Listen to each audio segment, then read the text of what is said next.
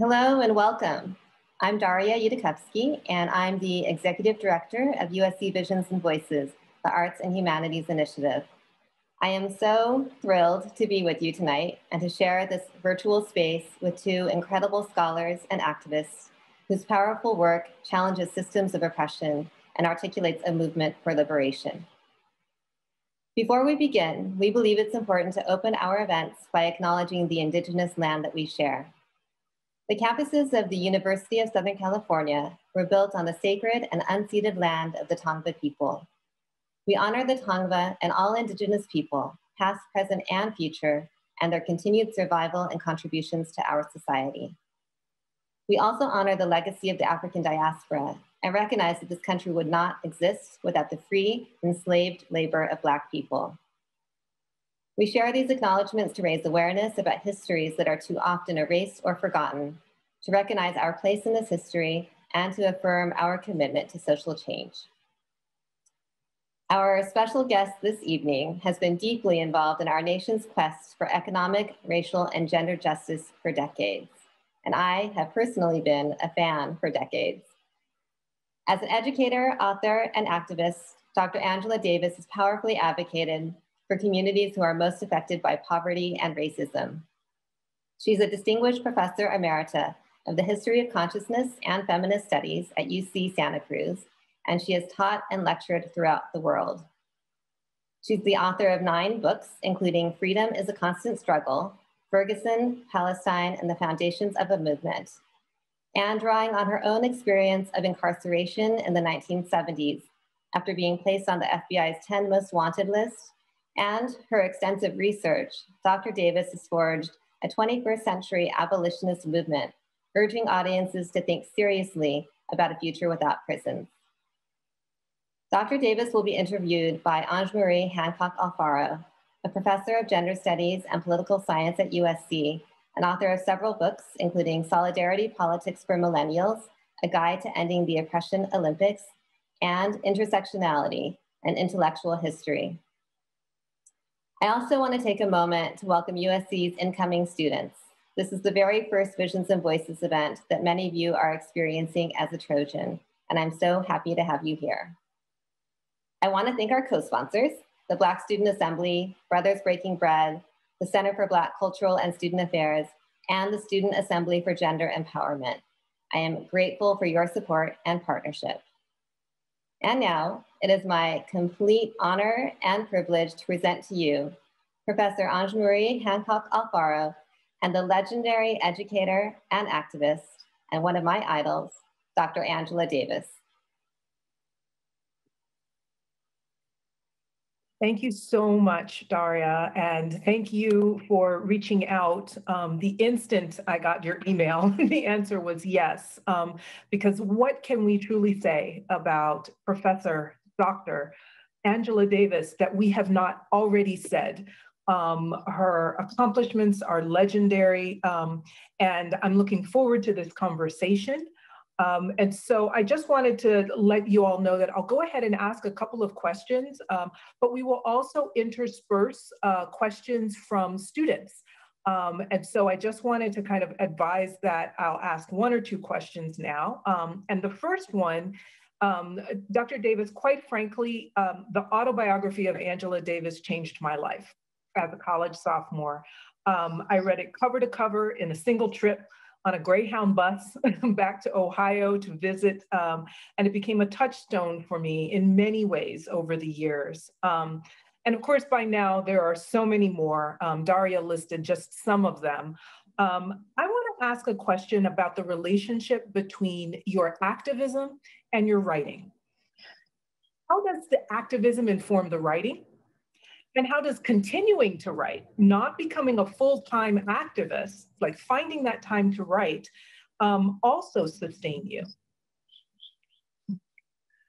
Well, first of all, thank you so much for inviting me to participate in, in this event for incoming students at USC. Um, and um, uh, Ange-Marie, it's wonderful to see you again after um, a few years. And thank you so much for uh, telling me about your experience with my autobiography. Uh, Uh, you'll be surprised perhaps to learn that I'm in the process of reading it as well right now.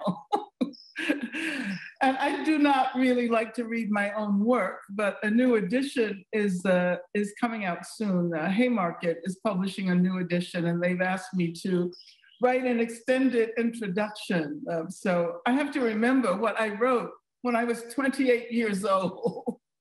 um, but to answer your question, to begin to answer your question, I think I would probably say that uh, I don't easily live inside of all of these categories that are uh, considered to, to reflect distinct activities. I don't, you know, there's the category of the writer, the activist, the academic, the teacher, the public intellectual, the organizer. Uh, um, although I do try to do all of this, uh, but not necessarily by considering myself uh, to be an activist uh, who writes or a writer who is an activist.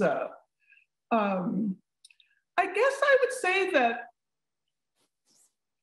virtually all of my life, I've been interested in how we can affect the future, how we can forge uh, new futures. Um, not so much as an individual goal, but as a collective undertaking. So I try to do this in many ways. This is how I came to academia, how I came to organizing, how I came to activism. Um, and I should tell you that I never really imagined myself as a person uh, whom other people want to hear from.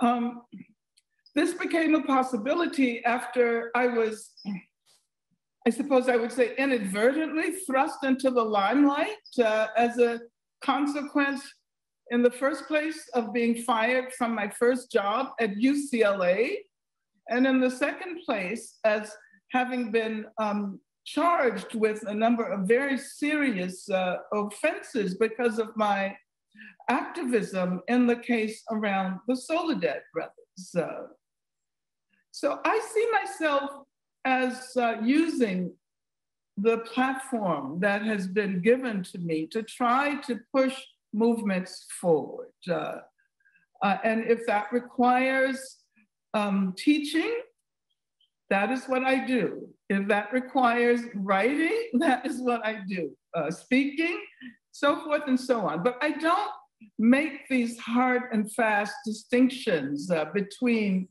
each activity. Uh, so um, you know I, I I am in the process of writing right now, um, but I consider that as a part of my activism, if you understand what I'm saying. Uh, uh, and the very the first published piece I wrote, um, I was in jail.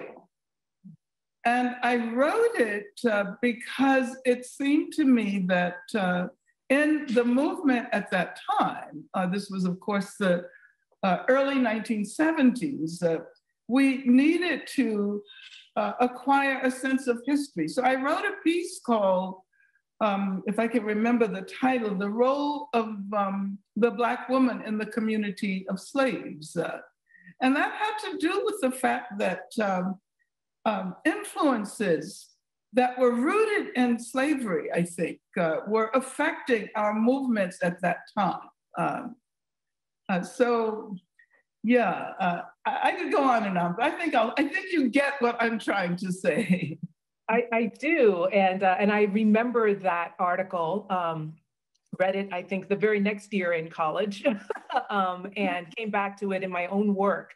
Um, so it, it is really transformative. And it leads to sort of my next question. Um, so I'm glad you're writing this extended introduction. I'll give you another piece of your autobiography that, uh, um, that I wanted to ask about and link it to this, um, this connection to slavery. Um, because in your autobiography, you do talk about the impact of violence that your community experienced.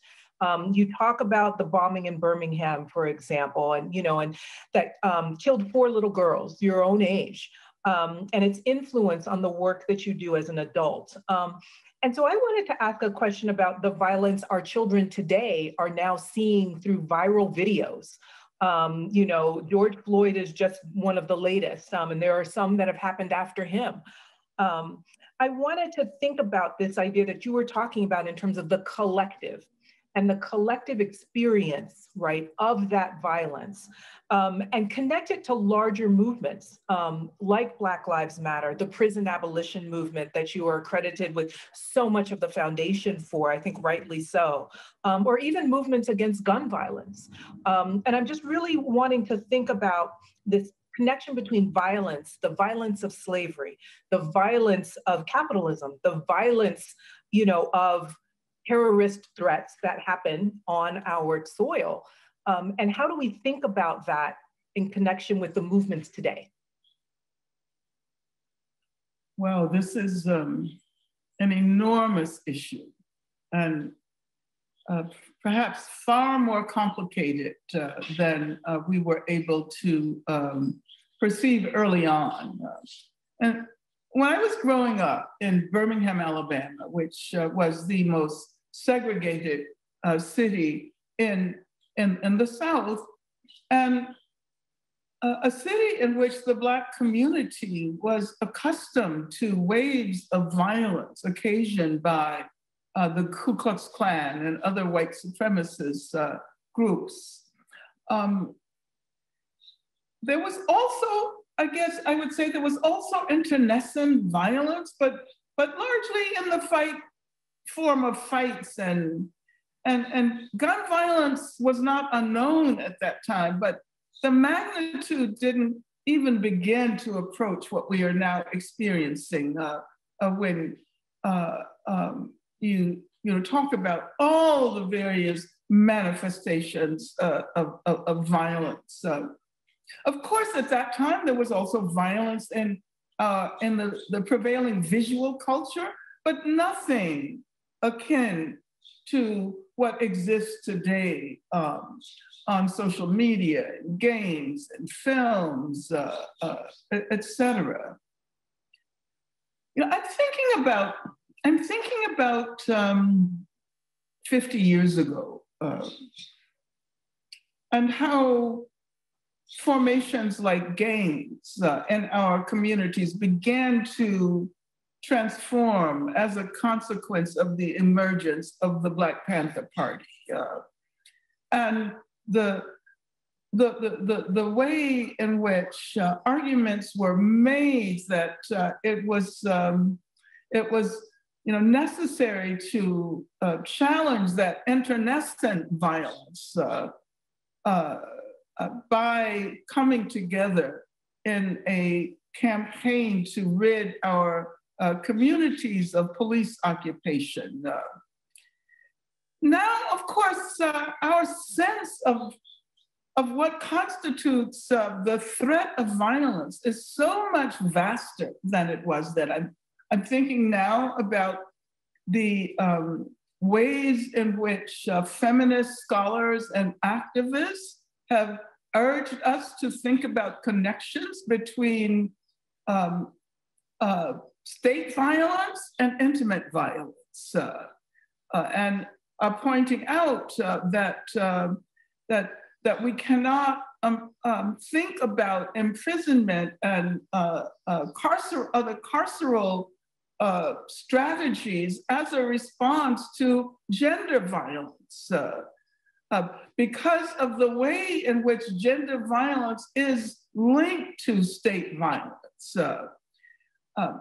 So I suppose, you know, what I would say is that uh, we should really take seriously the analyses and uh, the forms of practice that have been developed by anti-racist, anti-capitalist, uh, uh, feminist uh, organizations and, and, and, and approaches. Um, uh, because, you know, otherwise uh, with blinders on, we assume that we might be able to use one form of violence in order to combat another. And this is uh, precisely uh, the problem uh, with respect to those uh, uh, feminists uh, who still argue that um, um, that we need to continue the criminalization of, of gender violence uh,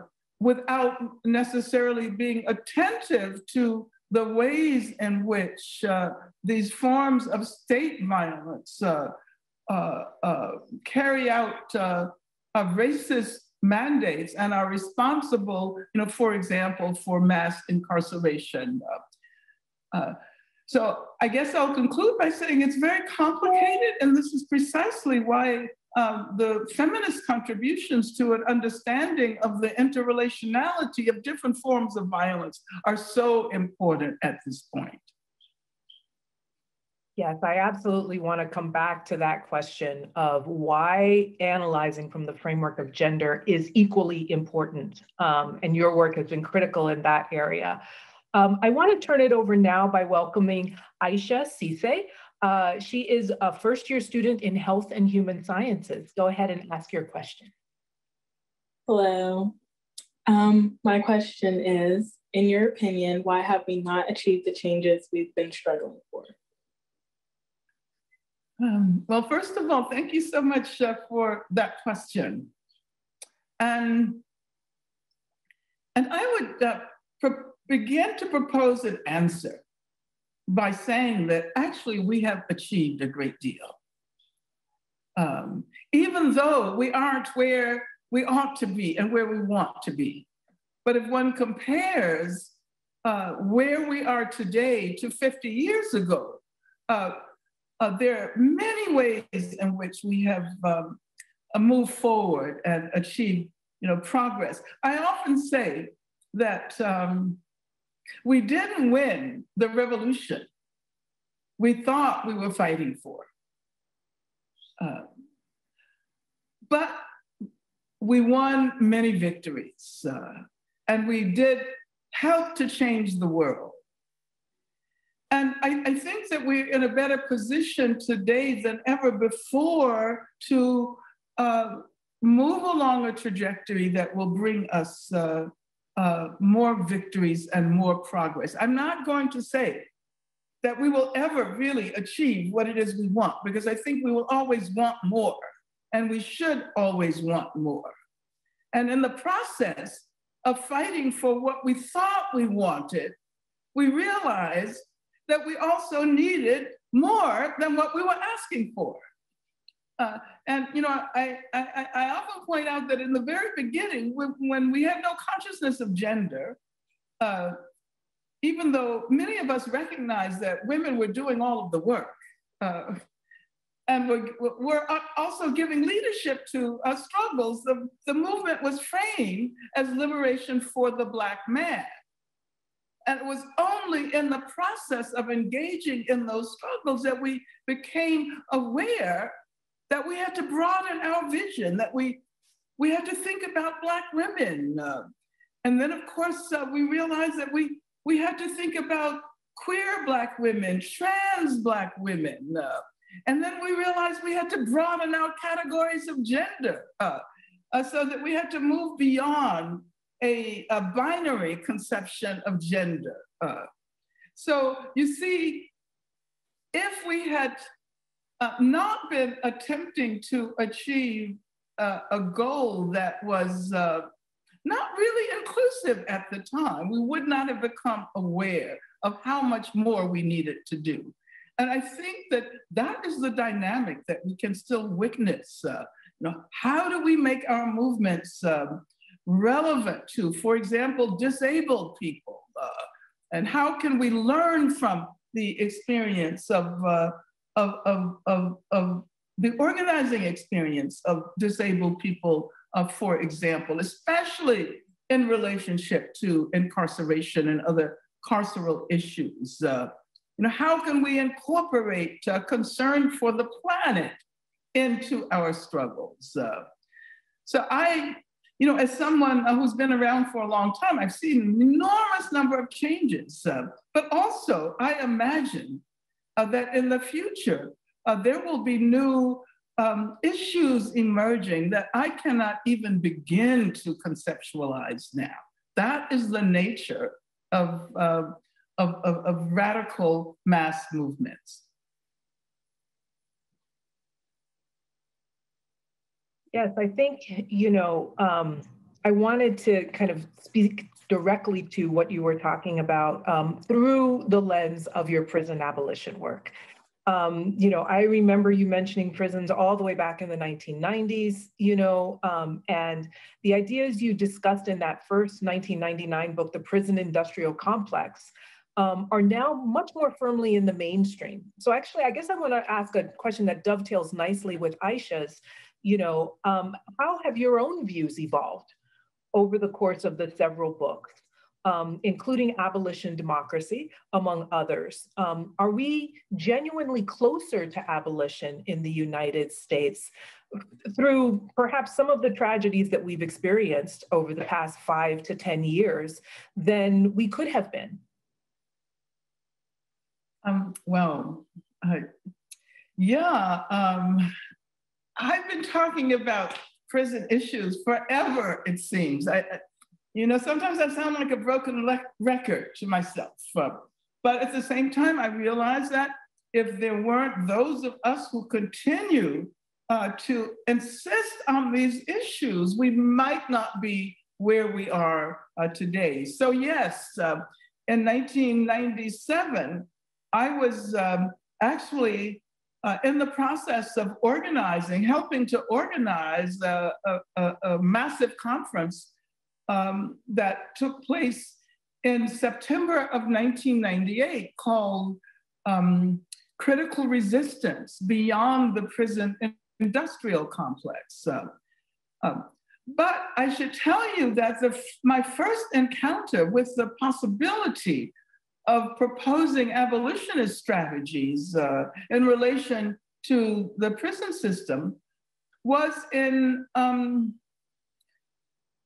1971, I believe, uh, when the Attica Prison Rebellion took place in September of 1971.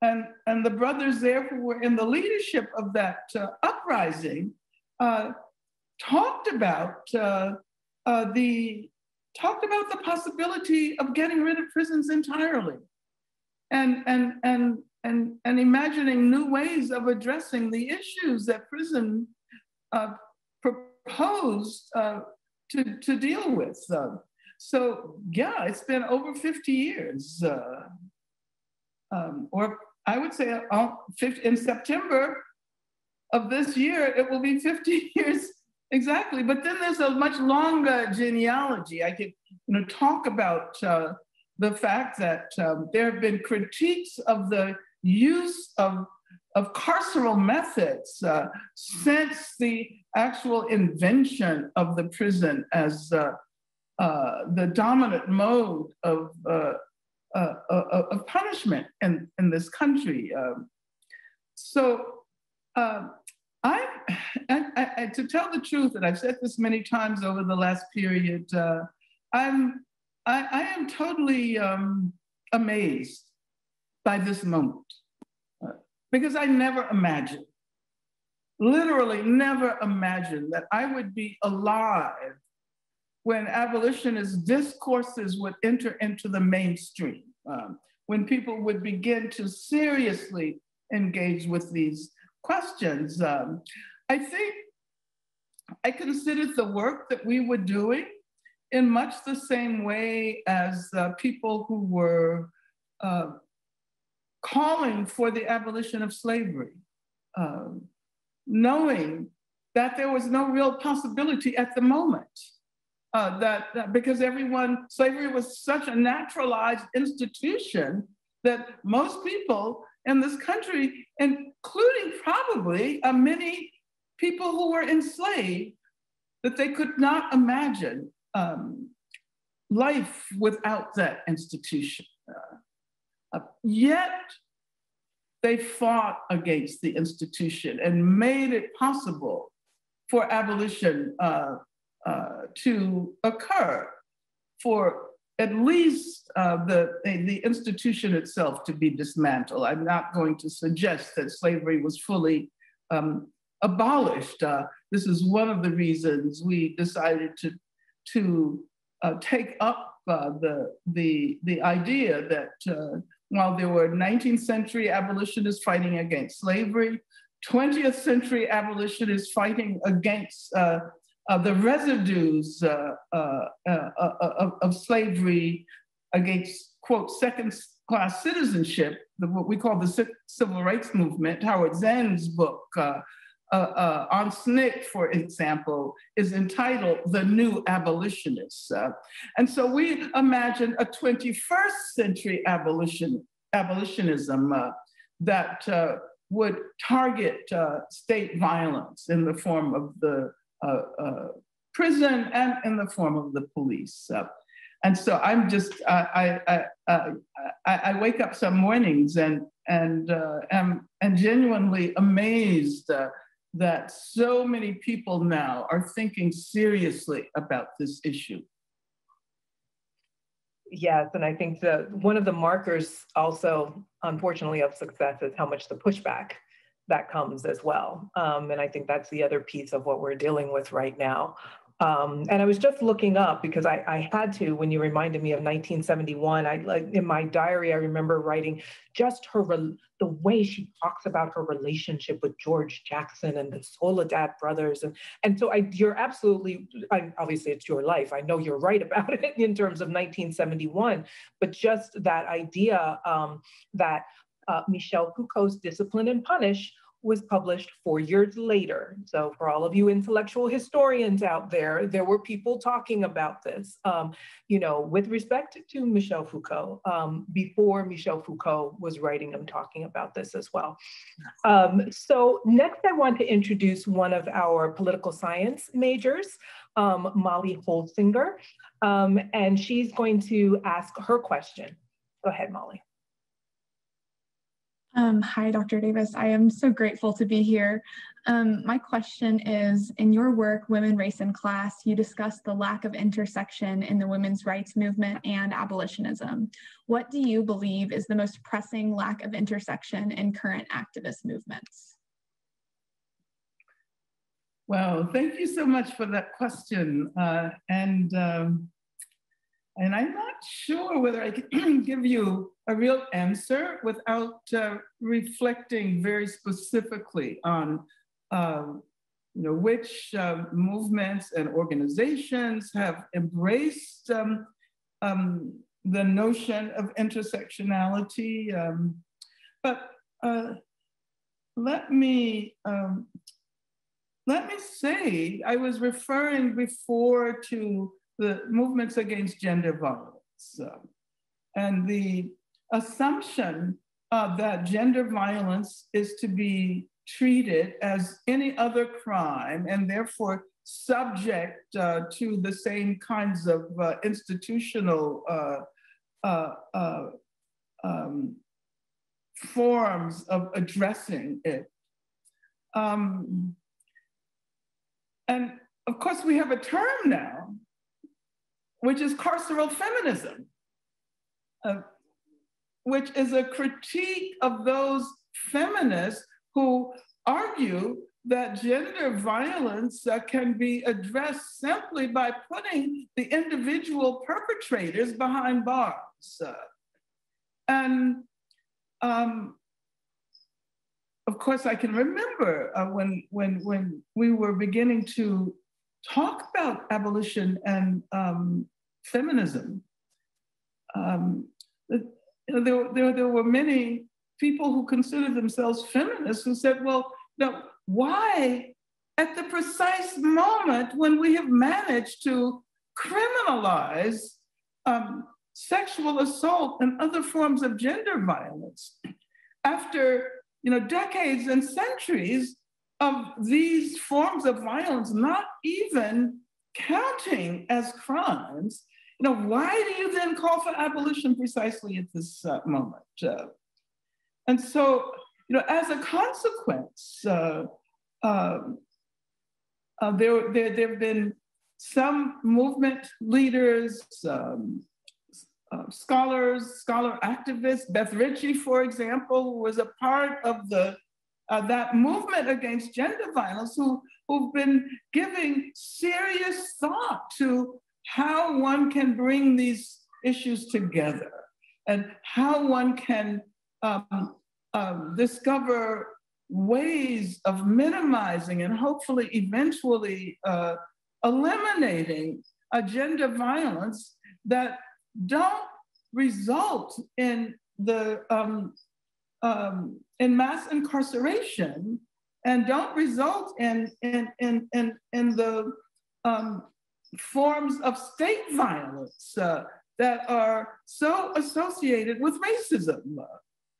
Um, so I, you know, I I should tell you that um, I'm actually working on a book uh, right now as we speak uh, with uh, Beth Ritchie and Erica Meiners, who is a, a, a, wonderful scholar activist. Her background is in education, and, and Gina Dent, uh, who uh, focuses on uh, visual culture.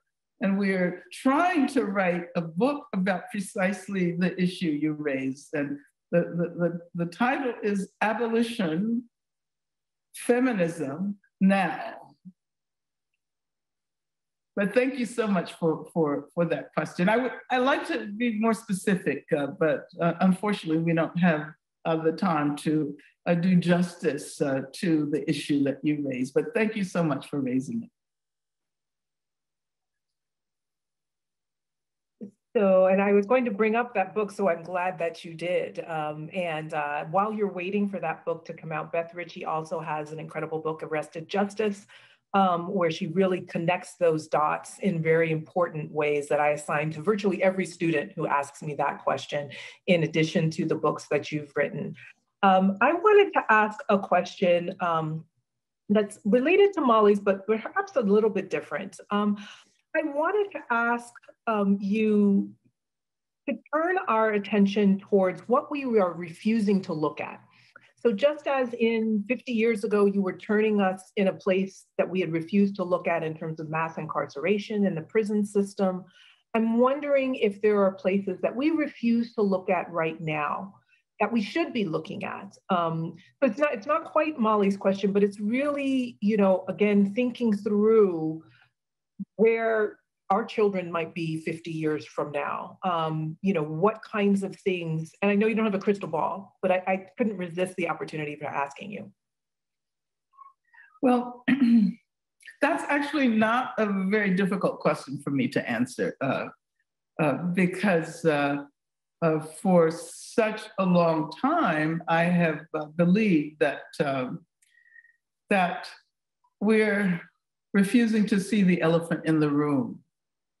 Um, and for me, that's capitalism.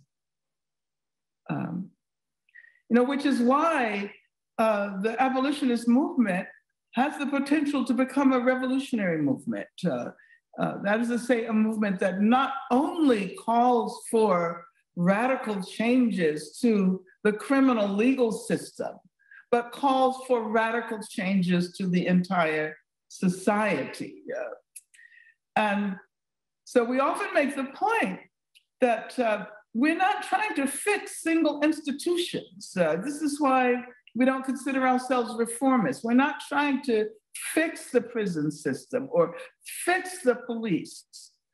What we're trying to do is urge a radical transformation of of, of, of, our society, of the social, economic, and political circumstances that render these institutions so necessary.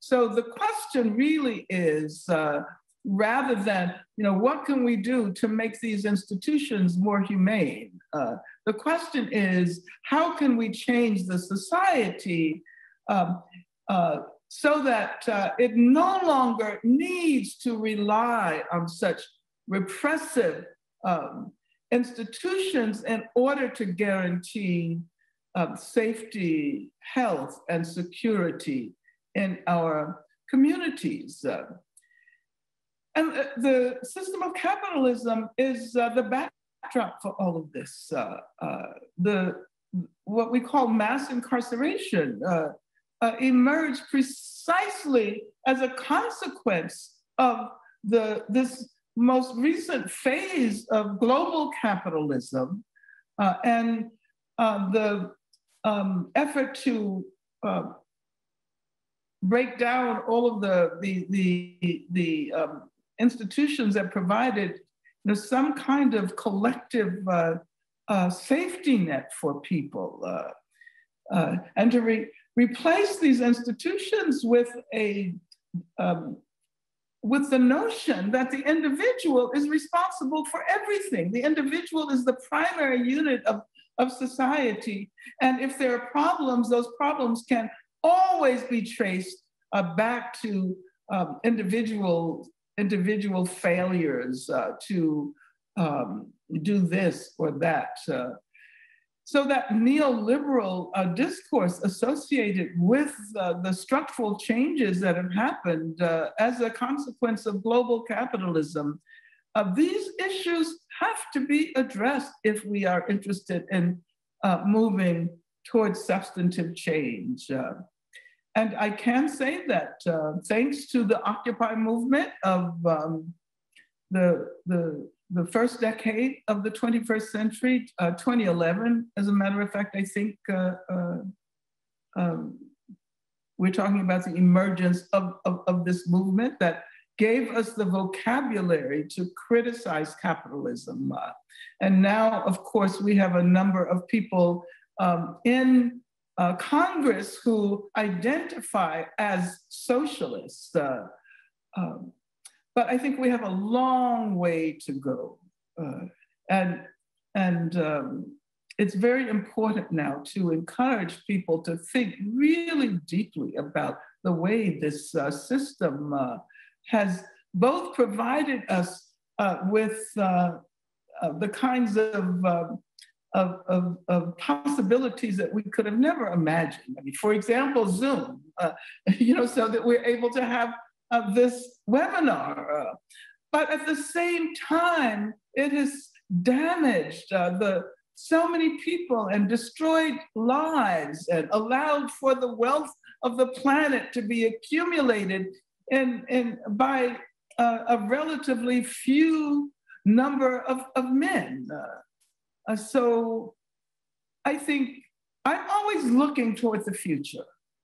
And, uh, and the future I see uh, as a future of justice, equality, and freedom uh, will have to be a future in which capitalism uh, no longer uh, uh, drives the planet in the way that it does today. Yes, I, I think that elephant in the room, what we're refusing to look at. Um, and I think there are very good reasons for that, um, as you've articulated. I'd like to turn now to Penda Ba, um, who is a first year student in global health. Um, Penda, would you like to ask your question? Ms. Davis, um, so my question to you is what are your thoughts on the rise of acknowledgement of intersectional identities and multifaceted liberation? And what do you think it means for the different emancipatory struggles that have been ongoing? So, do you think it makes it easier or harder to achieve liberation? Hmm.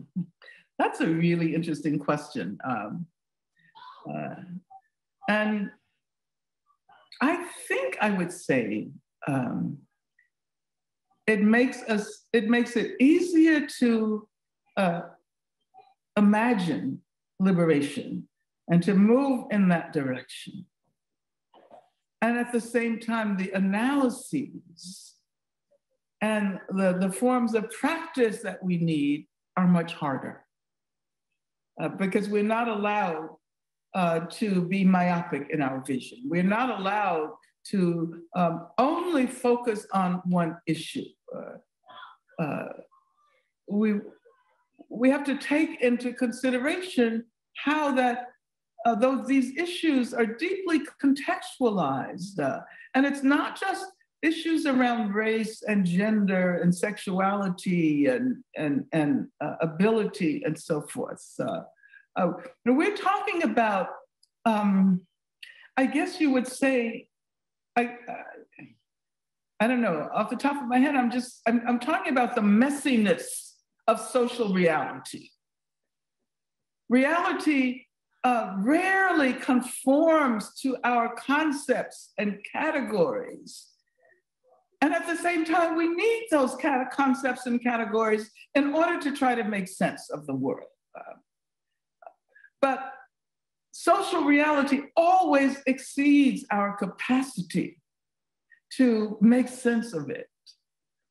Um, and, and, and, and therefore, I believe the more we move in the direction of attempting to apprehend um, the uh, profound complexity of our realities, and intersectionality is just you know one term that has been and, and one strategy, intellectual strategy, and you know one um, organizing strategy that has been offered to us. Uh, you know, let's not forget that that intersectionality, although it's a term we you know very easily use today, and is generally attributed to um, Kimberlé Crenshaw, who uh, uh, introduced the term itself in her legal writing. Uh, that there have been efforts going all the way back to the 19th century, uh, especially uh, by um, the forerunners of Black feminism who have insisted on thinking issues together. Uh, uh, you know, let's not forget that Anna Julia Cooper, at the end of the 19th century, called for this. Uh, Le- Gonzalez in, in, in Brazil called upon us to think issues of Black liberation and Indigenous liberation together. Uh, uh, then we can think about Lorraine Hansberry and, and, and, and, and the, the Black communist uh, feminist, a proto-feminist, however you want to uh, call them, of, of the McCarthy era, who were talking about super exploitation and who were talking about triple exploitation. Uh, and Fran Beal, when she wrote her book, wrote her pamphlet, Double Jeopardy. Uh, so there's a, there, and, and, and I know that, uh, um, um uh, Ange-Marie, that you, you know this very well because this is what you study. Uh, but I, I, I, think that um, we will move further and, and, and come up with even um, more interesting strategies uh, to help us uh, both recognize uh, that there is a, a world out there that needs to be understood, and at the same time to recognize that our conceptual apparatus is, is, is rarely able to um, uh, completely apprehend uh, the tumultuousness uh, of our social worlds. Thank you. So I, I actually want to come back to that because I think one of the things I struggle with as someone who does study intersectionality, um, who knows we need to go back to the 19th century, for example. Um, I want to come back to something you were talking about a little bit earlier with regard to the folks who identify as socialists in Congress. Um, and something I asked you about a little bit earlier with regard to pushback. Um, and so certainly what's happened with intersectionality is that there is what intersectionality is, um, and then there is the well-intended misappropriation and misunderstanding, and then there is, of course, the nefarious distortion. And so I wanted to ask you about that with regard to Marxism and socialism and the ways in which Occupy has opened a conversation AOC, Bernie Sanders, we could come up with any you know, number of folks um, who maybe have opened a space, but that there has been this distortion that's entered in. And I wanted to ask about how we grapple with the idea that as we expand access and familiarity, we also have to grapple with this intentional distortion. Um, yeah, that is true. Uh, and, and, and, and thank you for phrasing it uh, in, in, in that way, um, uh, uh precisely because uh, there are, are efforts to blunt the uh, possible impact of, of these new intellectual strategies. you know, just as we often insist on distinguishing between reform and abolition. And at the same time, uh, there are those who continue to insist that, um, that the work we do is reformist. I don't know how many times I've been characterized as a reformist, and I have to say that that is precisely uh, how I do not identify. Uh, Uh, but um, yeah, um, it is. Um, I guess. I guess the the way you phrase the question makes me uh, recognize how important ideological struggle is, and how uh, even as we call for very specific structural changes, we also have to um, insist on ideological struggle. Uh, it's, um, it's wonderful that we have people in Congress now who identify as, as socialists. Uh, um, uh, but, um, but at the same time, uh, I would argue that there, there are many different forms of socialism. Uh, so, so, you know, there's the, the Scandinavian model of socialism, you know, which is of course much better than what we have here.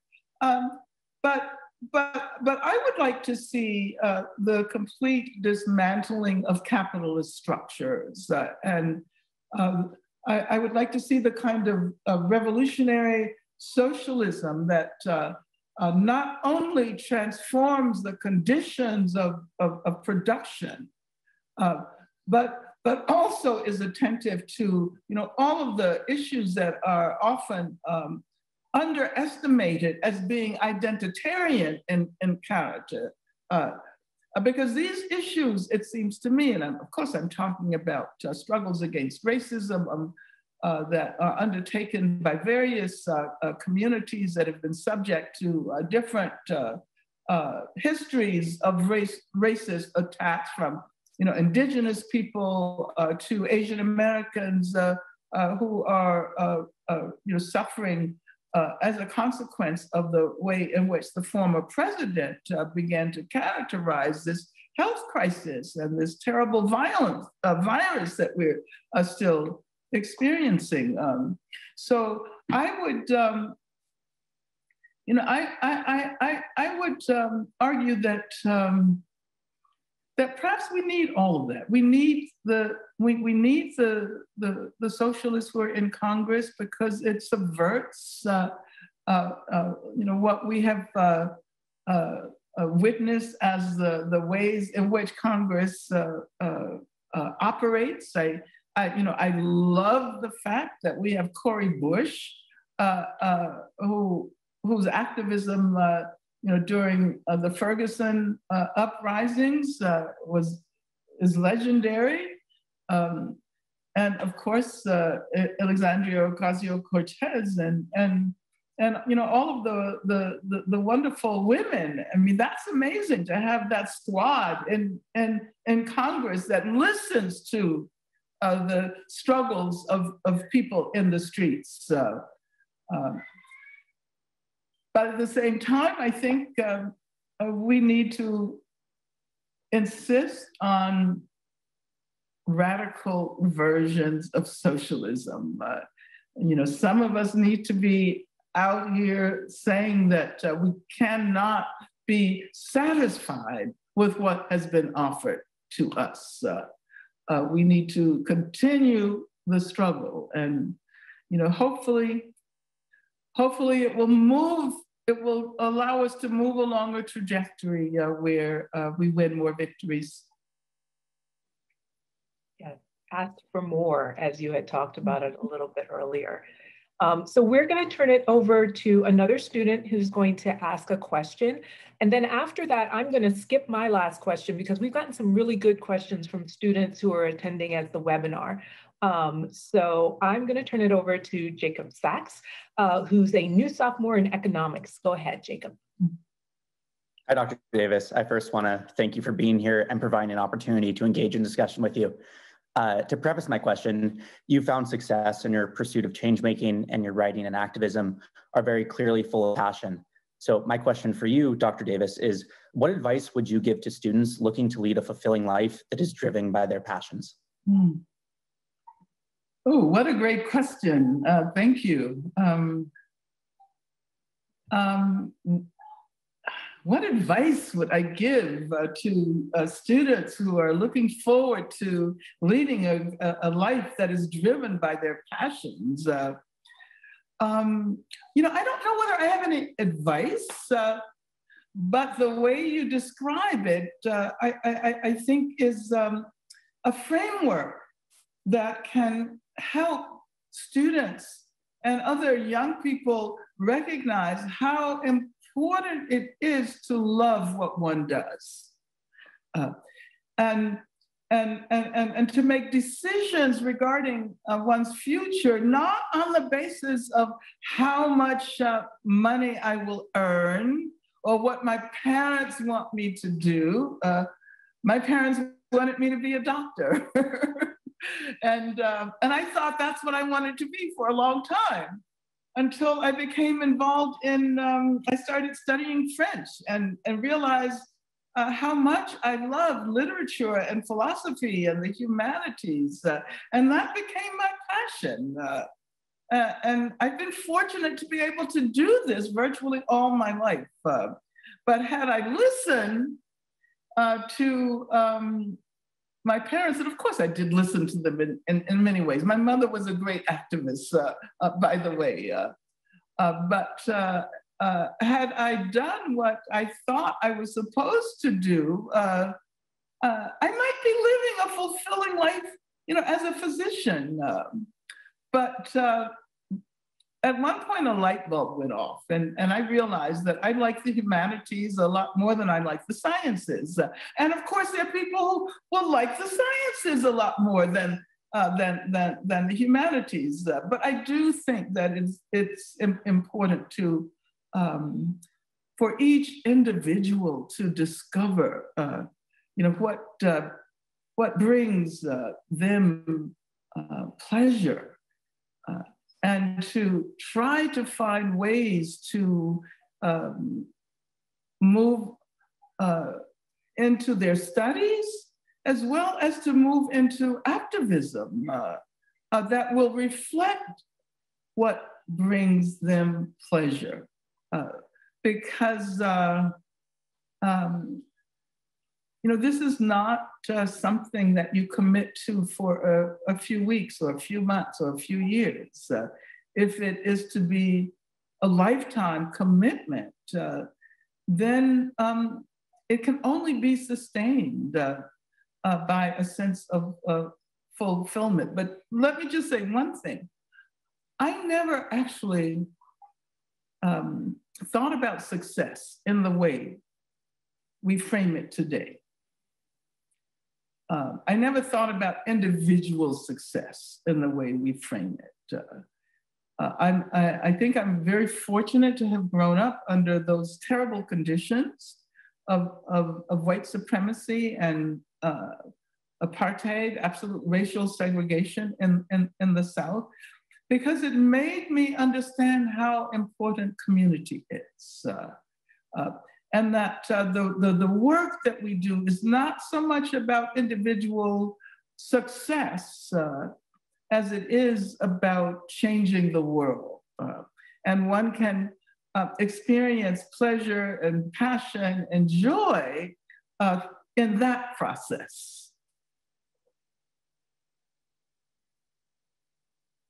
Absolutely. Um, thank you very much, Jacob. Uh, so I wanted to turn to a question that we've gotten um, from the audience.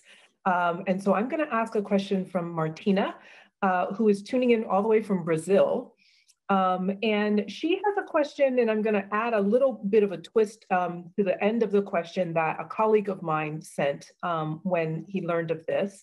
Um, Martina asks if you can talk about the importance of international solidarity towards oppressed groups all over the world. Um, and the, the only twist I want to put on that is with the benefit of hindsight, I, am wondering if there have ever been um, places in your life where you've expressed international solidarity or even domestic solidarity and then live to regret it or to or to realize that you needed to somehow pull back. Because i think that's another important part of organizing is learning from where coalition works or where solidarity works but also learning where it doesn't or where it should not work. So i wanted to ask that little twist.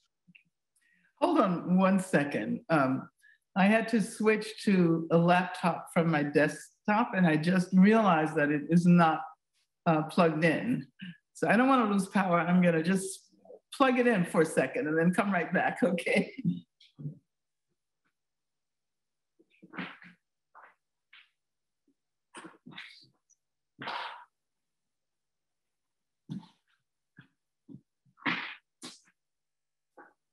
There are too many cords here. Okay. uh, great, now it's charging, good.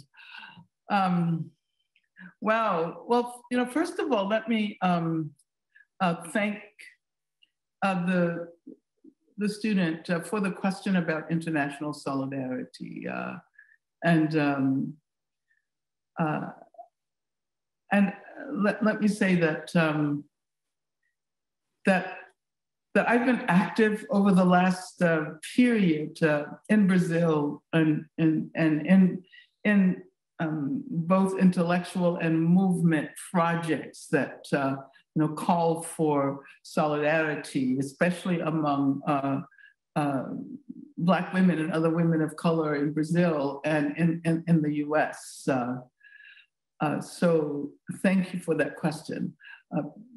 Because I, I absolutely believe that um, uh, we harm ourselves uh, with myopic and provincialized thinking when we assume that because we live in a country like the US, uh, uh, we are the center of the world. Uh, um, and that we cannot learn from struggles in, in, in, in Brazil, uh, you know, for example, or, or in, in, in South Africa, or uh, uh, in India, the Dalit struggle against the caste system, and particularly feminists there. Um, so thank you so much uh, for uh, raising that question because uh, had we completed uh, this session and not talked about the international uh, framework, uh, I would have been very upset. Um, and I guess I, am there's so many ways in which I could answer this question, but I will begin by saying that um, that I have always uh, tried to ground uh, my thinking and my uh, involvement in movements uh, um, in an internationalist uh, uh, perspective. you know, I often tell tell the story of of moving from the South to the Northeast to New York because I I thought that I would find more freedom there. I thought I would uh, that there would be less um, racism, uh, so to speak. Uh, and and in, in New York, although it was an amazing experience, and I'm so glad I had the opportunity to attend high school in New York and, and, and college in the Boston area, I, I realized that uh, racism expressed itself in different ways. Uh, um, uh, but I, I, was I was also laboring under the illusion that a place like France uh, was, uh, uh, with its um, emphasis on, on, on, freedom and fraternity and equality, would be the, the place where I would be most likely to um, uh, feel as if I had escaped racism. And I discovered that that was not true at all. Uh, uh, but as a young person, uh, during my first trip to France, uh, in the middle of the uh, Algerian Revolution, I, I, I, discovered the importance of international solidarity and became involved in the campaign um, to uh, um, challenge the French government uh, uh, for their effort to put down the Algerian Revolution. And so I think today, um, we have the capacity to communicate across national borders. Uh, and we don't use that as much as we should. Uh, of course, uh, the capitalists uh, have completely exploited this uh, new um, possibility. As a matter of fact, it emerges precisely as a, as a, as a capitalist uh, effort to globalize capitalist production, but also to allow um, you know, everything to move across borders. Um, excuse me. Products, uh, production strategies, um, um, money, etc. The only thing that capitalism does not like to cross borders is people. So everything else is in this constant flow.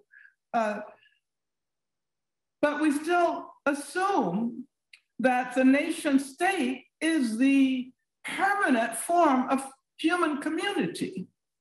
And I think that as we try to imagine a world without prisons, as we try to imagine a world uh, where police, armed police, are not the guarantors of, of, of safety and security, it might be helpful to try to imagine a world in which the nation state um, is not the central um, mode of human community. Uh, and I think that there will come a time in the future where uh, we will not have these borders in the same way, where people um, will uh, not be treated so repressively simply because they're looking for a better life. Uh, uh, and where borders and walls, apartheid walls in, in, in Israel Palestine, for example, uh, uh, are, are, are, not the ways in which uh, we ad address these um, tendencies. So, you know, I think, yes, international solidarity now and in the future, let us try to imagine um, a world in which we all consider ourselves global citizens. Excellent. Um, I, I want to ask, uh, as we think about this idea of organizing, um, we have another question from Camila um, that is, is very brass tacks. Um, Camila asks, how do you overcome the emotional burnout in this fight for social change? And, and we got another question that was anonymous that talked about something similar all of the violence in terms of violent backlash that happens. We ask peacefully, we get violence as a result. We ask strongly, we ask weakly, we always get the violence as a result. Um, and so Camila's question is how do you maintain the motivation to continue to fight for a better future? And the anonymous question um, was asked really about what you were just talking about, which is in the face of so much violence how do you not resort to violence as the solution, or, or should we resort to violence as the solution? I'm going to try and ask two questions there since we're time sensitive here. wow, okay. Um, well, first of all, the, uh, the question of uh, burnout. Um, and, you know, of course, um, of course, all of us who are doing this work get tired, and, and that's a human response. Uh, uh, and and I don't um, I don't want you to assume that it requires this uh, heroism and courage and you know all of these uh, capacities uh, uh that we often project onto individuals. What it requires is a commitment to a collective struggle. And people can participate in that struggle in the way that most befits them at particular moments. And when they're tired, um, they should rest. I mean, it's simple. But because we are so influenced by uh, neoliberal ideologies of uh, individualism, uh, you know, heroic individualism, uh, uh, you know, which is also a masculine, masculinist construct. Uh, we, we forget that it's communities, it's um, masses of people, it's collective groups uh, that are tasked with moving forward. Uh, and as individuals, we play an important role. But if we are aware of the collective nature of our pursuits, then we recognize that it's okay for one individual to step back for a while because the community, the collective will, will move forward. Uh, we don't have to feel obligated uh, to be present uh, all the time. Uh, and that, I think, is a consequence of the way in which we um, imagine ourselves uh, as individuals, uh, as individuals um, who need to be um, you know, who knows what, uh, charismatic and, and, and, and, and, and, and, people who are capable of these, these, these amazing uh, uh, feats, uh, uh, people who don't have to rest, people who don't get emotionally uh, in, entangled with the work that they're doing. Now. and that's just not true. Um, I love Audre Lorde and, and, and, and the way in which she acknowledges, uh, you know, all of the, um, you know, all of the factors that might prevent us from making the contributions we want to make, fear, for example. And of course, we're afraid. Uh, everyone should be afraid of some things, uh, but that doesn't mean that we still can't do the work. That doesn't mean that we don't uh, acquire courage by coming together. Uh, as far as I'm concerned, courage is always collective courage. Uh, it's not individual courage. Um, and, and when we think collectively, it means that we recognize that we need to take care of ourselves, uh, uh, that we need to do the things that will allow us to con continue to contribute to that uh, collective uh, and that collective uh, trajectory. Uh, so yeah, that is for, well, what was the second question? I got so caught up in the first question that uh, you. No, I think you answered both of them. Don't worry. Um, I think the other one was, uh, it, it dovetails with the last two questions that I'm gonna ask you. So I'll just go ahead and ask those two. Um, the first is from Jenna Mosley, who says that her great uncle David Mosley um, was an artist for the Black Panther Party um, and wants to know what role do you believe art still plays in social justice? And then the last thing, just on your point just now about doing the things that sustain yourselves, um, I wanted to ask an anonymous question um, was about what brings you joy? Um, mm-hmm. What, you know, how do you do things that sustain you? Okay. Well, actually, I think I can answer those two questions together uh, uh, because uh, art brings me joy. um, you know, music brings me joy. Uh, and of course, I remember David Mosley. Uh, uh, and I, am so happy to hear from his granddaughter, right? Um, I, um,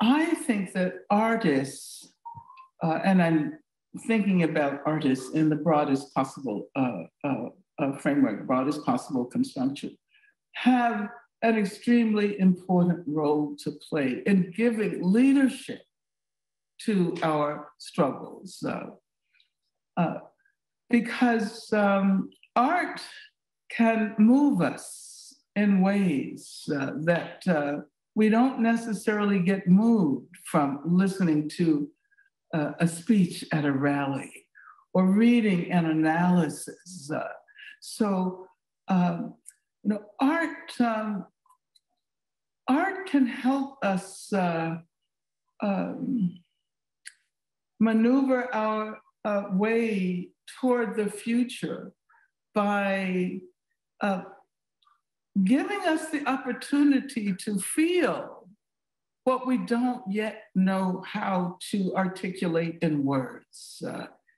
and that sense of, uh, of, of, of, of community that I was talking about is, I think, present in the way in which we um, uh, um, appreciate art and, and, and, music, how we listen, uh, you know, how we watch films. We're, it's, it's, it's, it's, even though we may be involved as individuals, we're always um, uh, situated within a kind of imagined community uh, of, of, of, people who, you know, also love to listen uh, to this uh, music. Uh, uh, you know, I was listening to Christian Scott, the jazz tr trumpet player, a little while ago, and thinking, "Oh my God, what what powerful, what beautiful music that that makes us want to um, create a world that is powerful and beautiful. Uh, uh, I think that unfortunately we have tended to assume that art, uh, visual art, is there to illustrate, you know, what uh, uh, scholars and thinkers are able to uh, come up with. but I think that is completely um, underestimating the part that art plays in uh, moving us in the direction of uh, revolutionary struggle. Um, uh, and, and one can, if, if, one looks at the ways in which so many musicians uh, um, in so many different genres, uh, you know, from hip hop to jazz, have, have used this historical moment to uh, produce um, music that is directly relevant to our effort to uh, challenge the structural racism of policing uh, uh and uh, the um, yeah the, the the, the ways in which popular artists and um, jazz artists and also you know people who work in the genre of classical European music uh, um, this is a moment uh, when uh, so many people have uh, made it very clear that they want to use their talents to contribute to the effort to uh, move our, our country forward, our country and the planet forward. Absolutely. Um, I was I could name a host of different artists um, who, again, and I think all of us could, right? That's the wonderful thing about art and music is that it really can sustain you, um, but also push you in directions you never dreamed you would be pushed. Um, and so I, I Unfortunately, we got so many more questions than we had time to answer, as is always the case we could have been here for another hour and another hour after that, or at least I certainly could have, and I suspect many of you could as well. So on behalf of USC and Visions and Voices, we want to thank the illustrious, luminous um, Dr. Angela Davis for joining us today. Um, and we also want to thank all of you uh, for tuning in. Um, this has been um, a tremendous conversation, um, and we look forward to seeing you back on campus if you're a student um, in the months to come. And again, we wish you good health and a better world. Thank you.